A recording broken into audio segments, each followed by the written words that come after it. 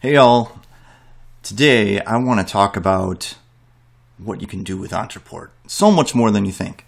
Um, you know, of course, we all know that you can do marketing with Ontraport, you can do sales with Ontraport, but and, and they talk about you can run your business in it. But with the addition of custom objects, you can really run your business with it. And you know, one of the things people think about with custom objects is they think, you know, kind of the obvious example is I run a vet and I've got, um, I'm a vet and I've got pets. So the owner is the parents, and then we've got these child objects, which are their pets. So we can have things happen for each individual pet. And then the other obvious example is we've got employees of one company, so the company is the parent, and then the employees are all the children of that parent. And those are cool, and those are kind of obvious examples but you can do so much more. So today I want to show you on the show you this cool setup I've been working on that is running part of my business, and that is my podcasts. I want to show you how I'm doing my podcasts using custom objects. And this is just a brief overview of, of how it's running, but I have, if you go in my account here, you'll see I have the regular stuff, but I've also got three custom objects. I've got leads, so I'm tracking all my leads with custom objects. I've got appointments. I'm tracking all my appointments with custom objects, and then podcast episodes, which is the one I want to show you today. Uh, we won't get into these other two, but it, just so you see, there's so many other things you can do. But the podcast episode thing is pretty cool. So here we have a list of episode topics I'm thinking about, and I just put them all in as ideas. So these are all concepts for different podcast episodes. But we can also look at here are my completed podcast episodes. Now you're going to see some more detail. You'll see what date the episode posted on, the episode number. These are all completed. Um, and then who the guest was on that episode, what the title was. And uh, yeah, pretty neat. If we look at one I just did, and I hope Aaron doesn't mind, but I just did an interview with Aaron Williams, who's another consultant that's going to be coming out next week. And let's, if we dive into Aaron's here, you can see all these different pieces I have inside of that's tracking every podcast episode. So there's all kinds of automation that happens with this. It's not just tracking it. So once I come up with the the concept, I invite people and I invite people to be on the podcast. I invite them through Twitter, Facebook, uh, maybe email out of my regular email account. Well, once they say, yes, I want to do it, then I add them to a sequence that is a guest invite.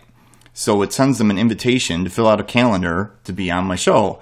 And once they fill out a calendar, um, then it brings in the appointment inf- information. It says, we're going to do this on, in Aaron's case, we did it yesterday. So on 322, we're going to do an interview. Uh, 322 at 11 a.m. Going to talk to Aaron from Aaron Automates. And that's when we're going to record the episode. So Aaron would get then uh, reminders about when we're going to inter- do the interview. And, we'll, and you would say, hey, you don't need custom objects for that. But if I interview the same person more than once, now each individual episode is tagged with them. So if we went back to if we went back to look at the overview here, you'll see that I am I did some solo episodes and I'm the guest on the solo episode. So I have multiple episodes in my account all linked to me. So if I went to here and I went to my contact record and I found my podcasts, where's my podcasts? Here we are, podcast episodes. You'll see all the different podcast episodes I've been on. And actually, I have two pages worth here. Um, so these are all the different podcast episodes I've been on, and it tracks each episode individually. So heading back over into podcasts, you know, there's my podcast episode. Um, but going back to the one I did with Aaron, so uh, yeah, so once she schedules a time, now she gets reminders. Uh, we record the show. Oh well, as part of the reminders, I'll show you this too is she gets a form to fill out. She got a form to fill out.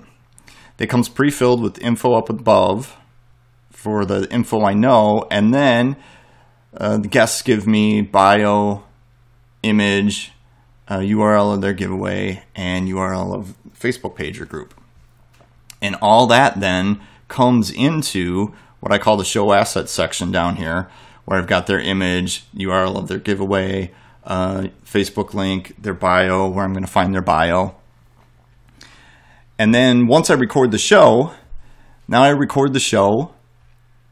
I take the raw audio file and I put it in my Dropbox and I give a link to that raw audio in my Dropbox. The other thing I also do is I put I type up a brief show notes. As soon as I change this to post production, which is what it is right now, so I've got these five I've got these different stages. I've got a concept, guest contacted, guest scheduled, post production, schedule, post, and completed. As soon as I change it to post production, it fires off a task to my producer, Travis. So now Travis has the all it, it sends him a task with all the info down here for the show assets as well as a link to the raw audio. He downloads the raw audio, does his magic to it, and then he uploads he fill he gets a form to fill out and he puts in that form the URL embed code. He's putting the embed code here for the final show. So he posts the show, gives me the embed code, puts that back in here. As soon as that is updated, there's a rule that looks for that to be updated. As soon as that is updated, it fires off a task to my VA Roz, and Roz gets all these show assets, and then she goes into my uh, website and posts all of this and makes it all look pretty. So it's going to show up on my website um, on the post date. So I assign a post date to it.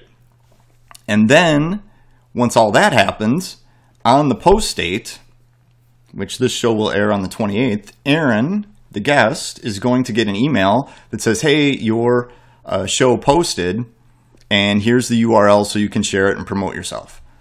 And Roz will input that URL when she puts it on the website. So when she puts it on the website, she shows that her task is done. She has a form where she puts in the URL. As soon as she does that, then it uh, changes this to completed and adds the guest into an email series where they will get updates about when the show posts and things. So, anyway, it's a pretty cool setup, but I'm not just showing you that just to show you how cool it is. I'm just trying to open your mind about all the different things you can do with Ontraport outside of I'm going to send emails and I'm going to sell stuff.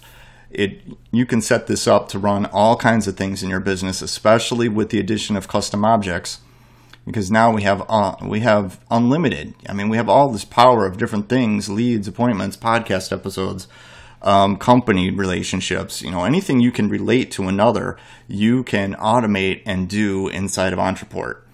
Uh, way cool. I thought I would share that with you. And uh, there you go.